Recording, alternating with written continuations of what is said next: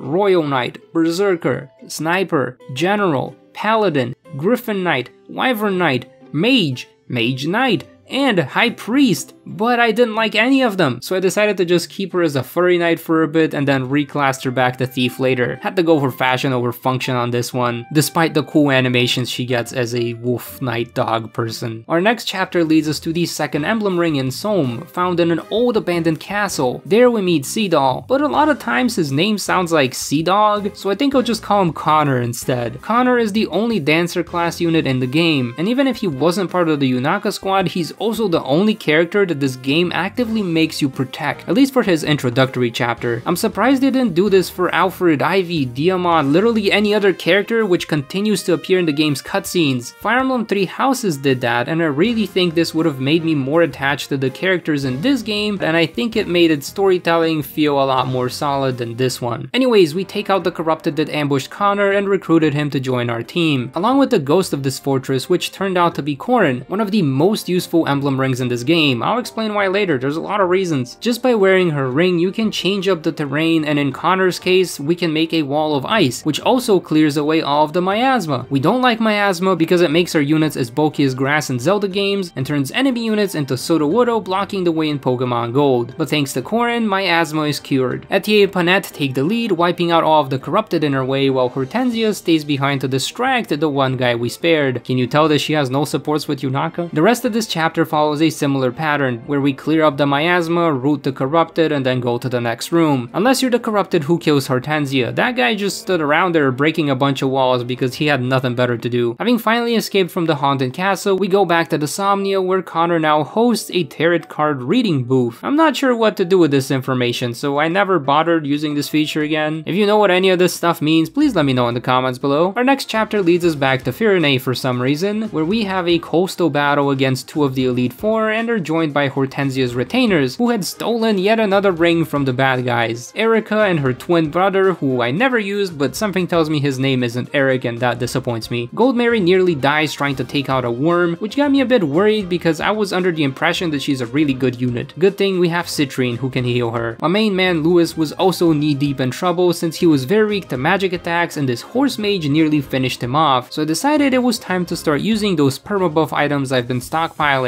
Probably not my brightest move, but I had Louis use two talismans to boost his resistance, which should help him at least bulk through one magic attack without passing out. Rosado might be fabulous, but he does not have any supports with Yunaka, so I had to send him off to try to solo a dragon. Spoiler alert, he couldn't solo the dragon. Marni was a bit annoying to take out since she had the two warrior monks guarding her. The little shield icon means that if I attacked an adjacent unit, the monk would come in to guard them, so I had Yunaka engage with Corrin and use the dragon hand hyper beam thing to damage all of of them, stun them so that they can move, and also put a special tile under their feet so that they can't dodge our other attacks. This felt a lot like Sigurd's special attack, but with a ton of debuffs for the enemies that you've hit. After the battle, we got to see a lot more support conversations. For example, Yunaka hates doing chores and is very amazing at impressions. I do have to take a step back and give a round of applause to Laura Post, who voiced Yunaka in the English dub, because when I was watching this cutscene, I thought they just played the actual character's lines here, but no, it turns out that she did the the actual impressions herself, which made Yunaka feel even more real and authentic and awesome as a character. Connor noticed how good Yunaka's acting is and tried to convince her to play a role in his next performance. She was unsure. Meanwhile, Goldmary is out there stealing Etie's potatoes. This is exactly why you get a Yunaka run and not a Goldmary run. Anyways, back to the main story of this game, we reach the port town of uh, Flora Port, where we see multiple working windmills? Pokemon, take note. And we have to fight a grand total of six bosses at the same time. You've got the Elite Four, Evil Veyle, and Corrupted Hyacinth, who's back for revenge, even though the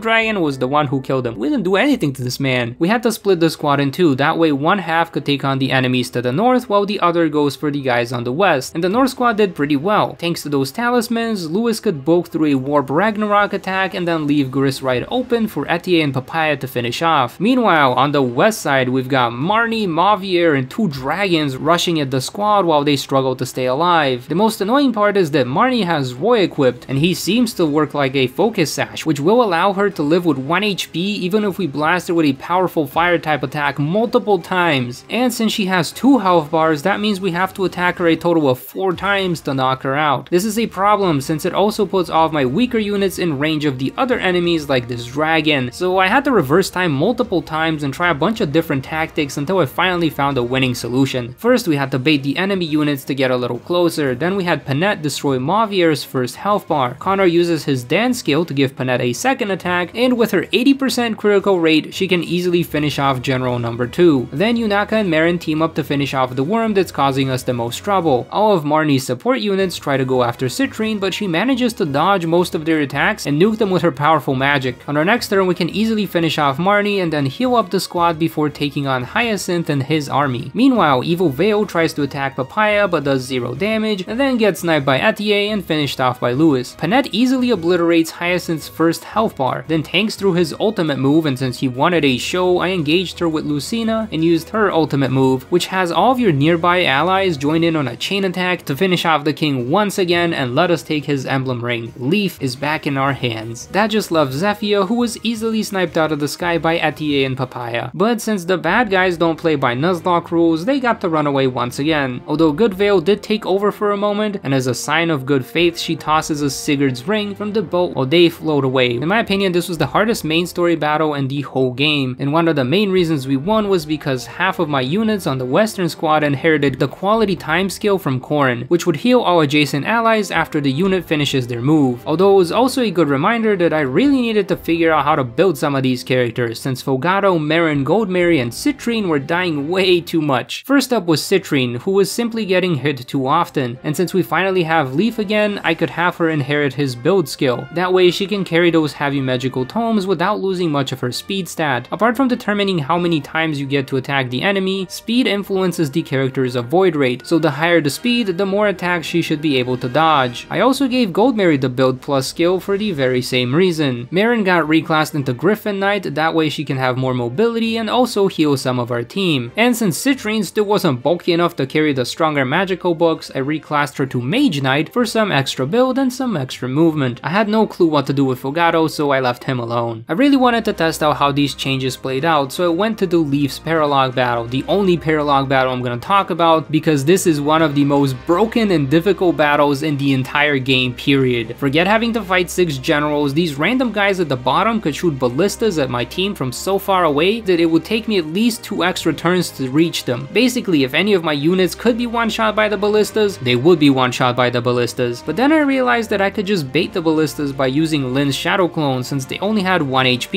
so you'd think we'd be done by this point, but no, there's a whole wall of armored units waiting for you across the bridge, and they have another ballista! And once you clear those guys out, there's another wall of units, this time horse mages, who rush in and nuke any lone units trying to push forward, and of course, Leif will rush in with them to make sure at least one of your units dies. And just in case you haven't had enough, there is one more ballista that will shoot at you from the north. Wahoo! The solution to this whole maddening level was to have Citrinne engage with Corrin and make use of another one of her special skills. When she hits an enemy while engaged, they will get stunned with her dreadful aura, which prevents the target from moving, so Citrinne could basically stay out of range and stun lock Leif with her electric attacks and wait for her other units to chip away at his supports. Needless to say, Citrinne and Corrin were key to winning this battle, making it one of my favorite battles of the entire game. And it wasn't just because of how much strategy I had to use to actually actually win. Lore-wise, this battle is based around the Thracia River, and for those who don't know, which is probably 99.9% .9 of you, most of Thracia is in modern-day Bulgaria. I'm Bulgarian! So to my three Bulgarian viewers, you guys should really get and play some Fire Emblem. Let's show some support to the game that actually gives us the tiniest bit of representation. To everyone else, look, Yunaka's now practicing her role with Connor, except she's not too keen on being the lead. Nobody tell her. Oh no, she's trying to poison us again with her cooking. I didn't even know no G rank was an option. But hey, that's kinda relatable because if I try to cook, it would also be G rank. Anyways, our next battle is on a boat towards Elusia, where we once again use Lyn's shadow clones to distract all of the enemies on the boat and have Panette go ham on everyone else on the other boat. We also get to recruit Old Man Linden, who just has one book and one healing item with him, and sadly, zero supports with Yunaka. When our boat reaches its destination, we're shocked to find out that the town is completely empty, and completely corrupted. So we fire fire off our boat torpedoes to clear out some of the miasma, then make land and push on. Here we have to split the team into three since there's essentially three separate hallways. On the top we have Yunaka taking down a worm on her own, on the bottom we have Zelkov trying to see if there's anyone left alive to rescue, only to get jumped by a bunch of corrupted, but hey at least one of them has a hold item that you can get if you kill it, I killed it. And in the middle we have another unit to recruit who sadly does not have any supports with Yunaka. I am also reminded that fighting a bunch of enemies in Miasma is not a good idea. To top it all off, Papaya and Panette needed to hold off two generals and a bunch of horse units in the middle until the other two squads could pincer in. Thankfully, Citrinne could clear away most of the miasma thanks to Corrin's ring, and also stunlock Mauvier to buy us some extra time. We then managed to take him out, even though he has 3 HP bars, and finish off the last corrupted with Panette's 100% crit rate. That literally leaves just Marni with just 1 HP bar and 1 Shadow Clone to distract her, right? She's gonna go after the Shadow Clone that has 1 HP and not one of our units, right? Right? right? Wrong, she goes after Goldmary and just obliterates her. So I had to rewind time, spare some of the corrupted, and go after Marni with Panette's 100% crit rate. From this Deadport town, we make our way back to Elusia Castle, where Griss wants to play hide and seek with us. Since him fighting us means a Warp Ragnarok to the face, I had Merrin engage with Byleth and perform the Goddess Dance. So now Yunaka and Alfred could rush in and take care of his first health bar. Since he didn't want to play anymore, Griss returns to the throne room while we continue to approach in the dark. In this battle, Fogado I could see just how much most of my units have grown. Fogado could pick off enemies from a distance, Merrin could heal and dance for us, Citrinne had become my most reliable stun-locking magical nuke, but Goldmary, she was kinda just there. I guess she helps out Yunaka with chores or something. Anyways, Griss had informed us that Papaya isn't actually a divine dragon, but a fell dragon, a child of Sombron. Then he gives us the Celica ring and leaves. Since Marni and Mauvier weren't happy about how Zephia was running things, they decided to help us out and take us back to Lumera's castle, which is where the four hounds had agreed to meet. But since she doesn't tolerate betrayal, Zephia stabs Marni and kills her. This is very unrealistic because Marni is an armored unit and would only take like 2 damage from that knife attack. Anyways, Mauvier flips out and joins our groups in hopes of getting revenge, and since he doesn't have supports with Yunaka, Mauvier also gets to hit the, uh, never mind. He's really good at dodging. And since the game decided to send in like 500 reinforcements from every angle, my only option was to quickly go after Evil Veyle before the rest of my team joins Marnie in Pokemon Sword. Veyle comes to her senses for a moment, giving us the last ring we needed to complete the set. But then Sombron just rolls up and tries to kill her, and for some reason Papaya decides to play hero just like Lumera and takes the hit instead. Then Sombron adds salt to the wound by telling Veyle that Papaya was her long lost sister. He takes all 12 of the emblem rings once again and uses their power to raise his land from the ocean and then make a giant wormhole in the sky. Get it? Worm? Like dragon? With his new superpowers, Sombron turns Veyle evil once again and she kills the rest of our team. The end? Question mark? So remember that one dream we had at the start of the game about everything being on fire? Well, we seem to be here again, but it's a thousand years ago and now we get a bit of context. It's Papaya defeating Sombron, but it turns out that he was only pretending to be dead and kills Papaya in the past when she lets her guard down. The only reason we return to life with blue hair is because Lumera comes to our rescue and gives us half of her divine dragon powers. Its divine is the blue one. But that doesn't matter now since we are dead. Again.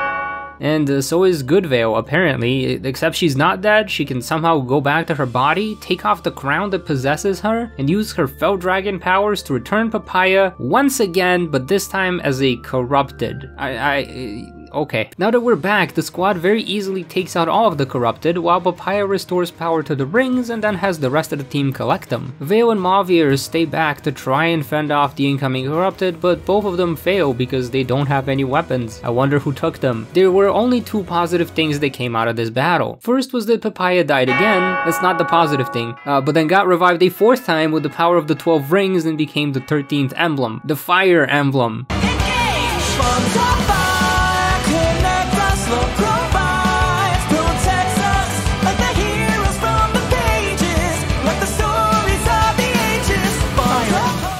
Engage. The other good thing is that we picked up the Brionac, a very powerful polearm that can only be used by S-rank lance wielders. And we have one of those! Goldmary, who has been utterly useless so far, she could now be promoted to Halberdier and ditch all those other random weapons. I also decided to use all of those permabuff items on her, as well as getting her some extra speed from Lyn. Fogado did mention how most folks are good if you give them a chance, so I guess it's time to give Goldmary a chance to be more useful in battle. To try out her new build, I went to do the final Paralog battle where we get the pact ring for Papaya. So sorry.